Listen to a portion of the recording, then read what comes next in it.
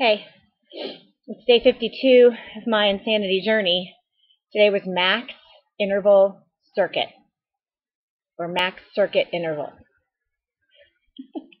we all know by now that I'm not really good with the names. Okay. Um, when I work out, I, I, I hear Shaun, but I'm also kind of clearing my mind. I do a lot of prayer.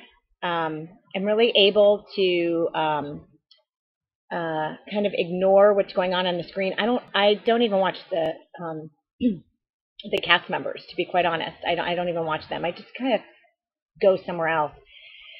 And I was praying today, and I realized that um, in the past two and a half years, I've had some interesting comments, um, and mainly on Facebook because um, I do a lot of business on Facebook. Um, I love social media.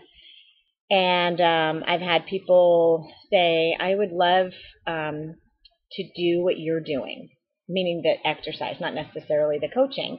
And I say, great, this is how they get started, how to get started. And then the person says, well, I couldn't possibly do that and it doesn't work. I've actually heard that. People telling me to my face it doesn't work. I'm like, okay, but okay, then what is this? What did I do? so um, I've heard that about Shakeology. I've heard the word um, spam. I've heard the word scam. Um, I've heard them all. And um, here I am, two and a half years later from beginning my journey, um, about to possibly be cast in an infomercial for Beachbody um, because I truly have been through a transform transformation. So, um, gosh, this is beginning to sound like I'm trying to defend myself, and I, I'm not trying to say that at all. What I'm trying to say is when you see people make a great change in their life, do you feel like your first response to that is it couldn't possibly be true? Or what are they hiding? Like, how did they really do that? It's like we want to doubt someone else's success as opposed to celebrating someone else's success. Just it's just it was just an interesting thought that popped in my mind today. Are you able to look at someone who has gone through a journey that you would like to have yourself, but maybe you're not there yet, but can you can you look at that person and say, "Well done." That was fantastic.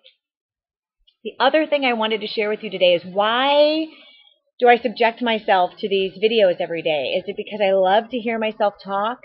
No. Come on camera every day because that is a mechanism that I use to ensure that I will get my workout in.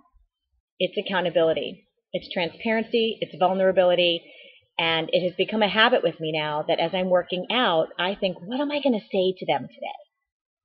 Yeah. It's a means that I have um, it's a means and a tool that I've developed to ensure that I get in the gym because I have to come and talk to you. And that's why challenge groups are so fantastic. And when people aren't checking in with their challenge groups, they're not exercising. I know. Those of you in my challenge groups are like, oh my gosh, I can't believe you just said that. That was so rude. I do tend to question whether it's happening. And um, so I think we human nature has the tendency to do that when we haven't fulfilled an agreement or um, we haven't come through on something that we said that we would, we tend to hide.